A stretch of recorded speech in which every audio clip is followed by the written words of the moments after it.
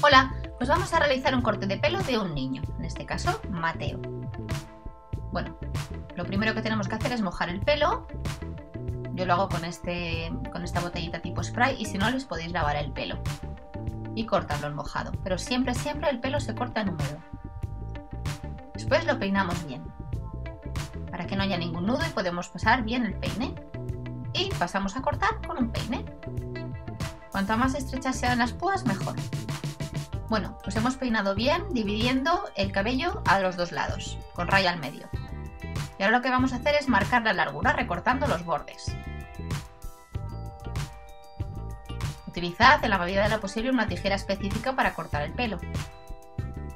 Yo no se lo voy a dejar demasiado corto que no le gusta, pero sí que voy a recortar un centímetro o dos. Entonces voy marcando todo el contorno. Primero un lado y luego el otro con el pelo bien estirado para que quede igual por todos los sitios. Desde la frente, por encima de las cejas, hasta la nuca. Y vamos haciendo lo mismo en el otro lado, así de manera redondeada. Pues el flequillo, como os digo, yo lo suelo hacer justo por encima de las cejas, no demasiado corto porque el pelo una vez seco encoge. Bueno, pues ahora vamos a ir realizando las capas y levantamos el pelo hacia arriba y recortamos ese centímetro o dos que necesitamos, o lo que necesitéis. Siempre en vertical, para que no se noten los tijeretazos. ¿Veis? Lo coloco así y voy recortando. Los laterales lo que hago es cogerlo y doblarlo un poquito hacia atrás.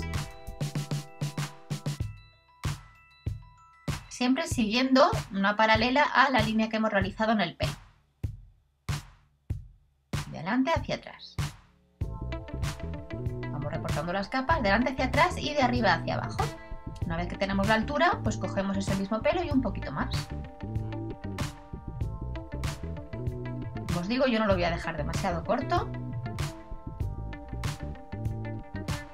Porque le gusta largo. También notaréis que las puntas están muy finas cuando lleváis un tiempo sin cortarles el pelo. que es fácil saber hasta dónde tenéis que cortar para mantener el corte de pelo. Bueno, pues vamos a proceder una vez hecho lateral a la parte de atrás.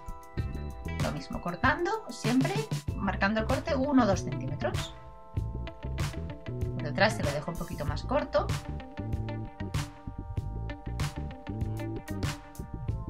Primero un lado y luego el otro, procurando que nos queden iguales por supuesto. Yo soy partidaria de coger siempre varios mechones para que se vaya mezclando y no tengamos muchos tijeretazos. ¿Veis? Ahora para igualarlo con el otro lado, partimos de la parte central, cogiendo un poquito más del pelo y midiéndolo con el anterior.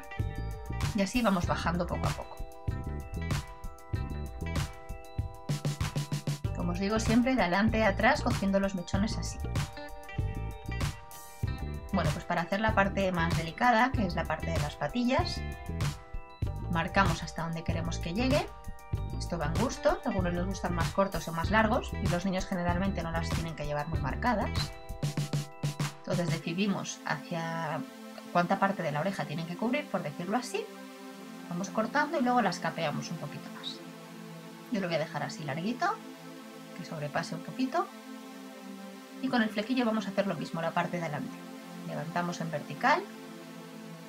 Siempre de esta manera, los mechones tienen que ir de adelante atrás. No lo hagáis de la otra manera, paralelos a la frente, por decirlo así, porque se va a notar mucho el tijeretazo.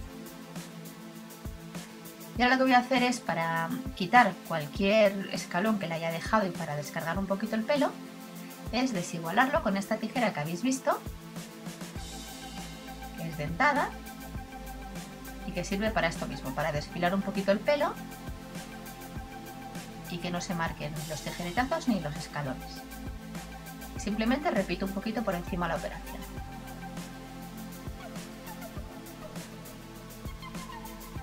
Con esto también el pelo adquiere más movimiento.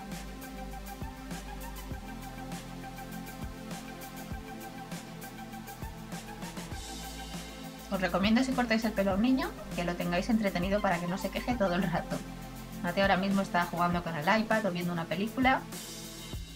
Les dais un videojuego, lo que tengáis, o algo para colorear, para que estén entretenidos. Así aguantan mucho más tiempo. Que siempre les parece eterno. Al menos a los míos, que no les gusta cortarse el pelo. Siempre están, mami, ¿cuándo acabas? Mami, ¿cuándo acabas? ¿Cuánto falta? También les doy un pequeño premio al final, o un eurito, o un chupa chups, una chuche, o algo así, un postre especial que no me pongan tantas pegas. Bueno, pues ahora que se va secando lo vamos peinando para comprobar que más o menos va a quedar bien. Si mientras cortáis os seca, lo tenéis que humedecer otra vez, con el spray o con las manos, con un vasito o con un peine mojado. Comprobáis de frente que los dos lados quedan iguales tiene ya carita de cansado, pero bueno, yo creo que lo hemos conseguido, más o menos está bien, yo lo veo guapo. Y ya está. Espero que os haya gustado y que os salga bien.